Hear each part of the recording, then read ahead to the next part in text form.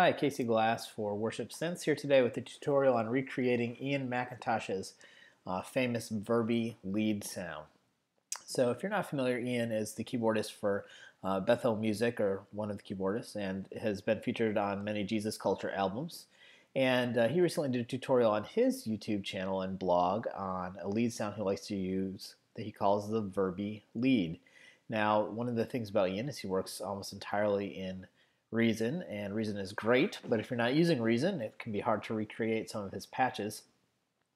So uh, the folks over on Hillsong Omnisphere Sounds kind of took on recreating this sound either in Mainstage or Omnisphere, and I think quite frankly you could do it with just about any synthesizer and reverb plugin of your choice. And so we're going to go here and uh, recreate it both in ES2, which is a stock synth in Mainstage, and then Omnisphere. Uh, a lot of thanks to Pete Welly, who first gave the seeds of uh, putting this uh, sound together. And again, what we're going for is something that sounds kind of like this.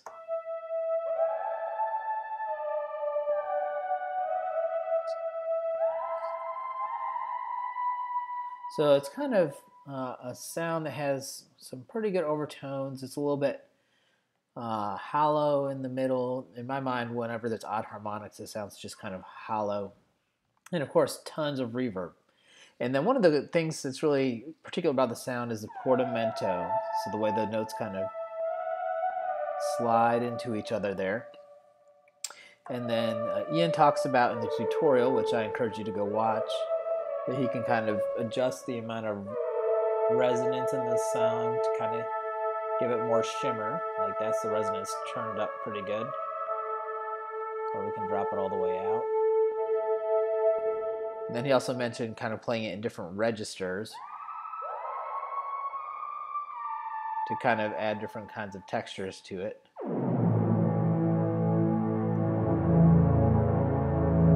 So, I mean, the sound itself is not really anything way out there, but again, one of the things about this blog is really kind of listening, learning how to put together sounds for yourself. So, when I first heard this, um, I kind of had an idea where to start. I have to admit that Pete's suggestion of kind of stacking square waves is the thing that really made me think we could get this done pretty quick.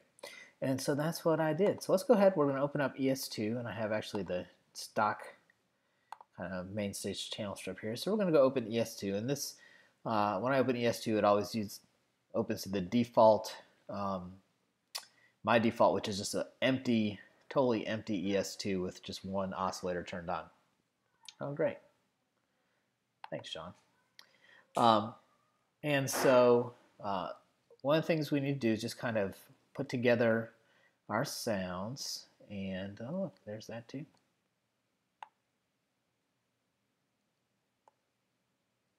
So we're going to start with a square wave. You know, let me make sure that, yeah, that's all okay. All right. And again, square wave by itself is kind of bell toned. And actually right here we have uh, pulse width, which is has more overtones, less of the fundamental. And in ES2 we have three oscillators and then this is the mixer. So wherever in the triangle we are, you know, it could be all at one, all at two, all at three, all of them equal, more towards two and three, more towards one and two, and so on. So we're gonna we're gonna put it right in the middle just so that we'll able to hear everything as we go along. We want to make sure a couple things that it's set to poly so we can get chords. We want to, we don't need a lot of voices. I mean, back in the day, you know, eight voice synth was a pretty common thing. We can set it to unison if we want to give a little bit thicker sound. And so we just have our one square wave going here. So now let's turn on oscillator number two. And we're going to make that another square wave, really pulse width. We're going to make it kind of uh, a shorter pulse, which is going to be on this end of the square wave. So we got a little bit of something going there.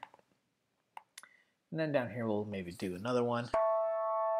Now at the moment these are all exactly the same uh, pitch. So what we want to do is probably just detune these a little bit. We'll take the top one, we'll make it flat. We'll take the bottom one, make it just a little bit sharp. So now we have a little bit more phasing going on there. And if we wanted to really thicken it up, we could probably uh, drop one down an octave or an up an octave. I don't really know that we need to do that right now. And then another thing about this song, of course, is the glide. And so glide or portamento is that sliding into the note. So if we crank it up.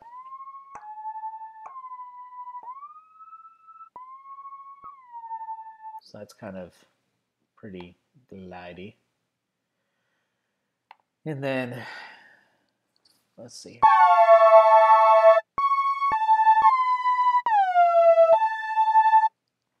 So we've got the slide,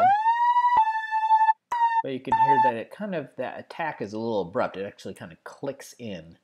So in ES2, envelope number three controls our amplitude or the, the change in volume over time. And so we want the sound to, to fade in quickly, but not instantly.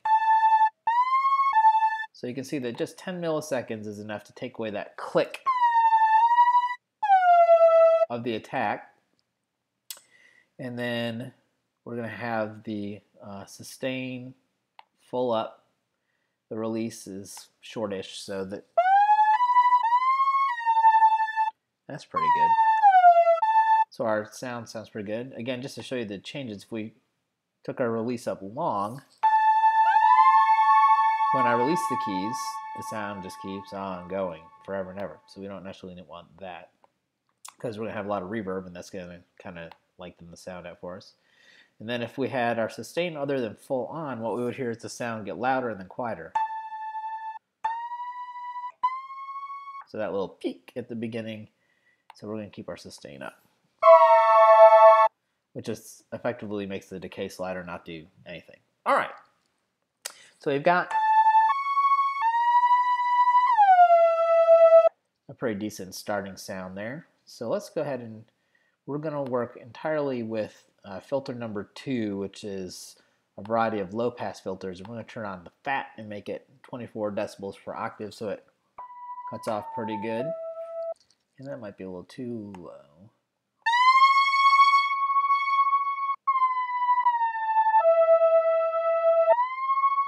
Go. So it's not ear piercing. And then we'll turn the resonance up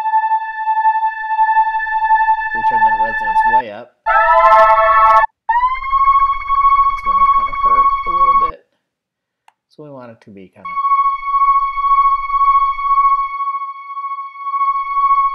maybe a quarter of the way up.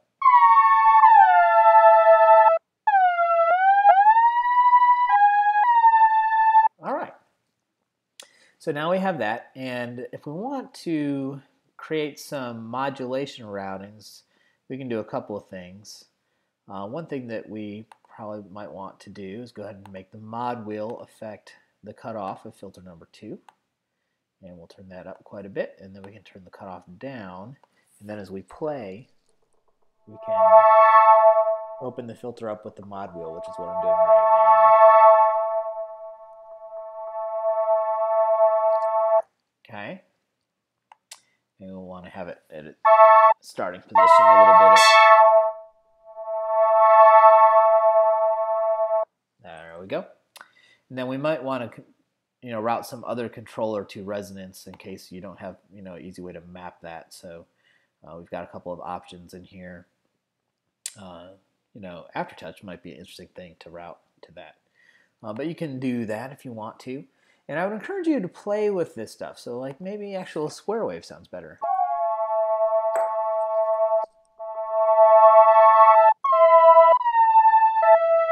And actually, ES2 has wavetables as well. Each of the oscillators can have a wave out of its wavetable. You get to that by right-clicking on where it says sine, and then we can go, like maybe this is good.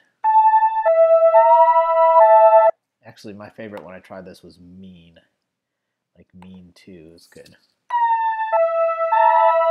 Because one thing about Ian Synth, it has kind of uh, not a lot of mid range, like in the 200 to 400 hertz range is kind of empty in there. It's kind of a high and low sound, and the middle is scooped out a little bit, and these square waves don't quite do that. So that mean 2 kind of does it. And then we've talked before about just kind of, you know, mixing in some of the other stuff to fill it out. If we want, if we did more sine wave, we would just bring some more tone to it. I don't like that. So, but we could add a little phaser. Uh, there's basically an EQ slider right here that we could cut, lap out some high end if we want. And I think that's a pretty good start. Let's see, we might maybe we'll take this a little bit, a little bit more. All right, so we have the raw tone. The next thing we need to do is to give us some reverb. So this is our basic ES2 synth. We're obviously not there yet. So we're going to throw in here Silververb. Uh, you're happy or welcome to use whichever reverb you prefer. And obviously this sound is super reverb heavy, so we're going to crank up the reverb wet to dry mix. And uh, I'm going to say no pre-delay. We're just going to try to make this all verby. And we're going to bump these up to about medium.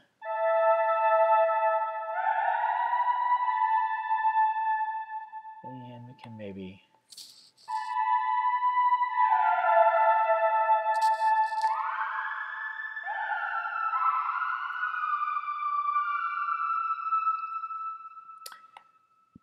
If we want to keep some of the low end in there, we can fix that up.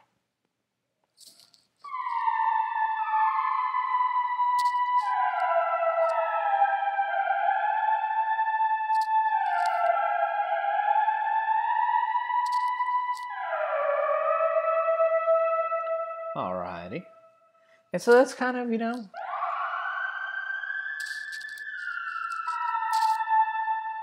Now I have to admit that on the tracks that Ian played, I felt like there was probably some delay in there too.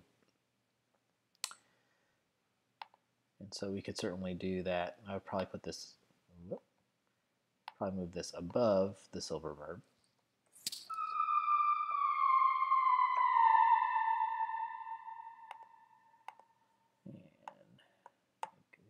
a little feed more and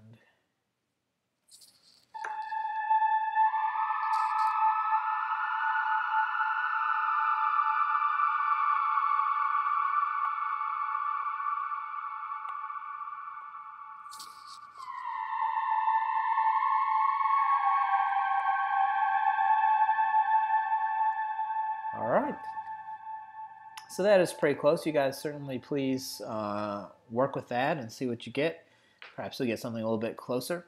And then in part two, we'll go ahead and make this same or similar patch using entirely Omnisphere.